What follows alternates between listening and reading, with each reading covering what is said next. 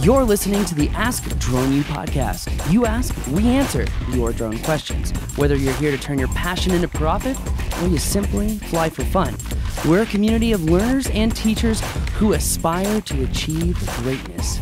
We are Drone U.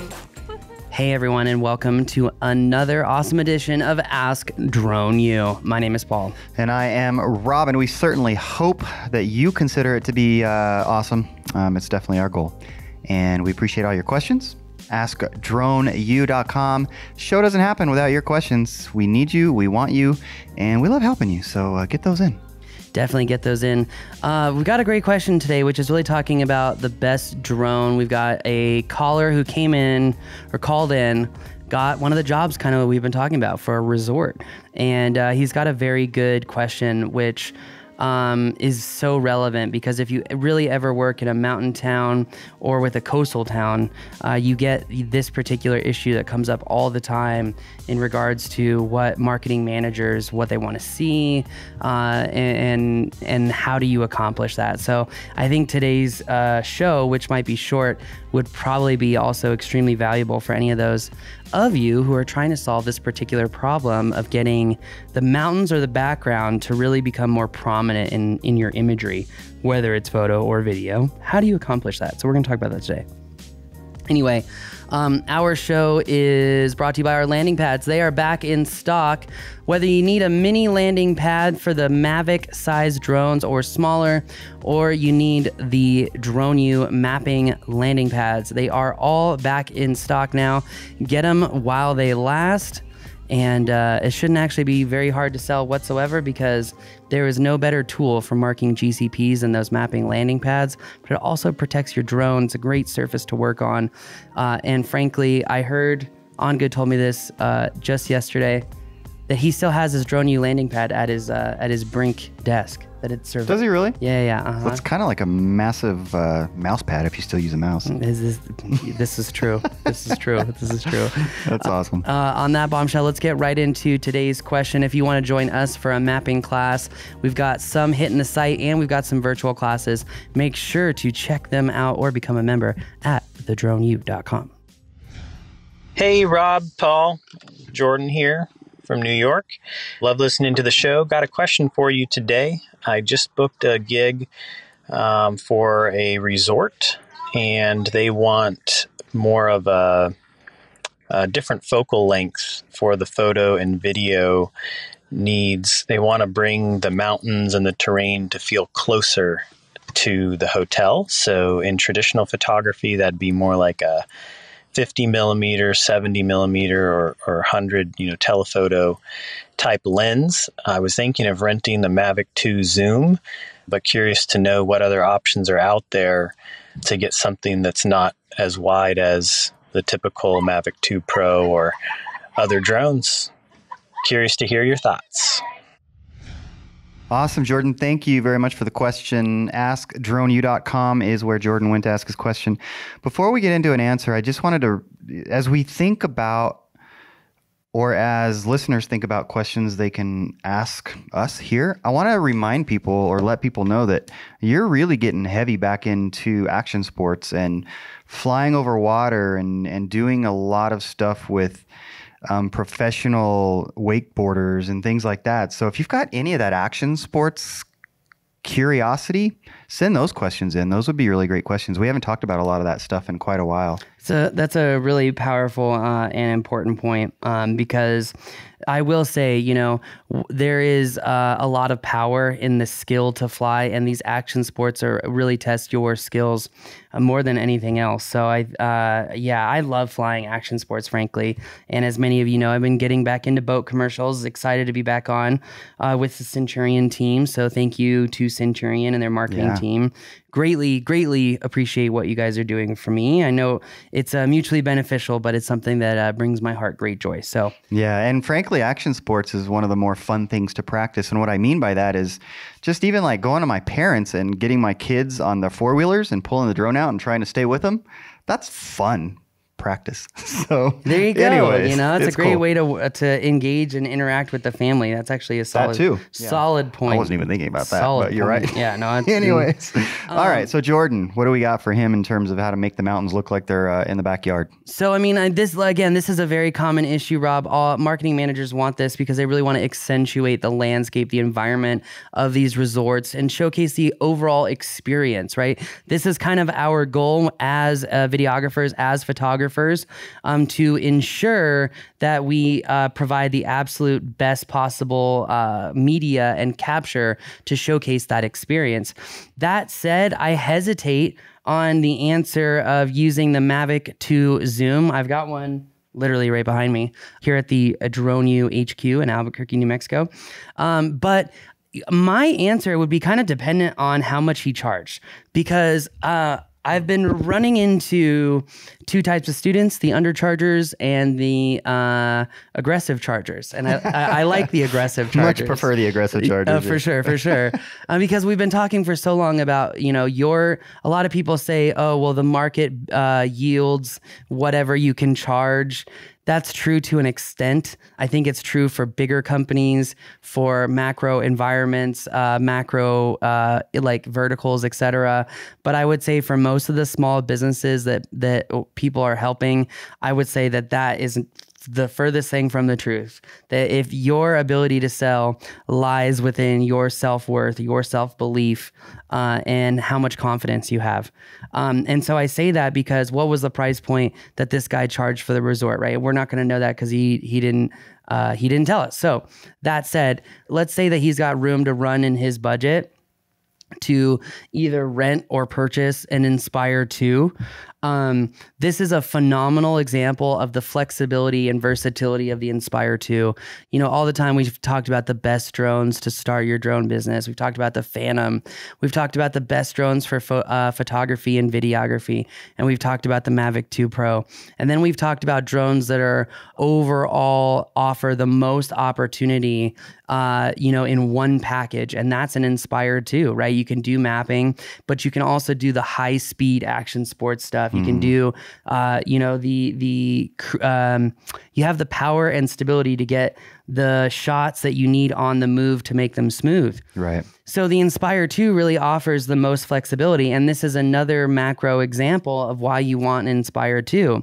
I personally would not use the Mavic 2 Zoom or Enterprise in this particular example. Why? High end client. Okay. High end client, what does that mean? They probably want sunset or sunrise, right? They want color in the sky. But if, they don't, you should tell them that they do, right? Because your shots are going to look better. yeah. Exactly. Yeah, yeah, yeah. hundred percent. Yes. Um, or upsell it if if you can't. Uh, and that said, when we talk about the Mavic 2 Zoom sensor over the Mavic 2 Pro sensor, you really have an extreme deviation in sensors, uh, and especially the quality. And then when we get to low light and we talk about sunset and sunrise, you're really going to see the difference in those two sensors at that point in time, which is why 100% I would recommend the Inspire 2 with the X7 because the X7, look, there's four lenses, right? You you buy the X7, it's three grand. It costs more than the drone now, okay? But you get one lens, you buy one lens. I've got the 16 millimeter. The reason I have the 16 millimeter is because it has the built-in ND filter. Okay, I really like that. All right, especially when I'm out on the water, where ND filters are necessary. Um, but what I love about it is like when I shot Balloon Fiesta last year or two years ago. Uh, why do I love this camera? I can just go rent a 50 millimeter DL lens that fits on the X7, and I can get that background to push in. And I love the look myself. But even here's the thing as you zoom in, you really kind of degrade the quality of the sensor anyway. Right. Um, and you can see the difference on a 50 millimeter and a 16 on the X7. You can really see the difference. But you're going to get a much higher quality photo than you would with the Mavic 2 Zoom or the Mavic 2 Enterprise. But as I was sitting here talking about this, uh, looking at my notes that have nothing to do with this show, uh, I was just thinking about, you know, Rob, you had uh, an amazing experience with the Mavic 2 Pro, right? What are we talking about? Rob's like, oh no, oh no, what is he setting up? we already did this show, Paul. Oh no, no, no. Here we go. Uh, I'm talking about the time that Rob crashed the Mavic 2 Pro. Okay. Oh, one of the scariest moments of the last couple of years. It's, it's I was okay. going to say my life. the last class that I taught with Josh, I crashed that same Mavic 2 Pro on the beach in San Diego. So, um, Tough little booger. it, re- it really is. Uh, and there's one thing that I learned in going through that drone, the post crash maintenance with that particular aircraft. And if you remember, it was realizing how simple and easy it is to actually do a gimbal swap. So if this particular collar is budget, uh, Constrained? th- thank you. Yes, if he's budget constrained, then what I would do is I would go online and I would find a broken Mavic 2 Zoom. And you know what I would do is I would buy that thing. As long as the uh, gimbal and camera were still outputting an image to the remote, I would buy it. Here's why. I would take that drone apart. I would take the four screws plus the ribbon cable, or I think it's eight screws plus the ribbon cable, and take the Mavic 2 Pro gimbal off of my Mavic, strap the zoom on there. He's probably gonna buy it for three or four hundred bucks. Boom, problem solved. Okay. That's only if this resort paid him a very small amount or he's uh, he's a lo- he's doing a loss leader, for example, right? Can't spend the money on the Inspire 2. Or he's trying to do this as a uh, uh, an example for what he could do for other jobs. Like a reel builder almost, or something to include uh-huh, in reel. Yeah. So, but I think he had mentioned renting a Zoom. I would say stay away from that. Rent the i2.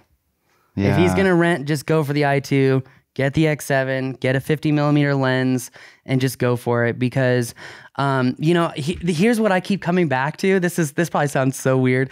Here's what I keep coming back to. I've looked at Zoom photos that I shot in Mexico, and when I can't adjust the highlights and the shadows very much on that sensor because it's such a small sensor. And when it comes to the highlights and the shadows on the X7, even on a 50 mil where I'm cropped in on that sensor, I still have so much room to play with the highlights and the shadows to really drive that robust sunset look, right? Yeah. I can do that with the X7, can't do it as much with the uh, with the Mavic 2 Zoom.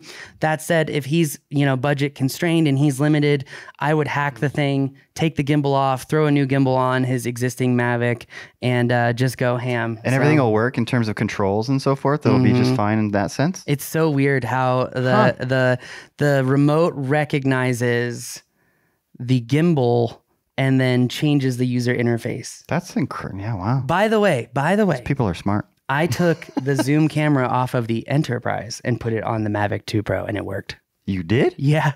Didn't know that. Why? I have no idea why. It just worked. No, no, no. Not why did it work. Why did you do that? Uh, because I wanted to see if it would work. Oh. yeah, there are benefits to being a tinkerer. Well, yeah, man, that's my problem is I feel like I have all these microcosms of these different character sets and I have to like choose every day which one I want to Yeah. yeah. entertain, you well, know? Yeah, I guess you could say it's a problem. It's but it's manageable and there's a lot of benefit to it. So, anyways, we're gonna stay positive. We're going to stay positive here 2021. That's pretty cool. So, anyways, your best case solution for him is the uh, Inspire 2 with the X7. I would with argue- the 50 millimeter or maybe even closer lens. I think if he's got the money, that is the best answer. Yes. If he doesn't, I would say he's already got a Mavic 2 Pro. Find a broken 2 Zoom, switch out the gimbal, do that. Uh, it, it is a risk, right? Um, if he can't do that, I would say rent the Inspire 2. There should someone should call in with a question on, hey, what should I do to a rental drone before I fly it? Because there's literally a laundry list. Uh, no, really, like Wink, wink. no, like yeah, like literally, I've seen so many uh, almost crashes because of this particular issue.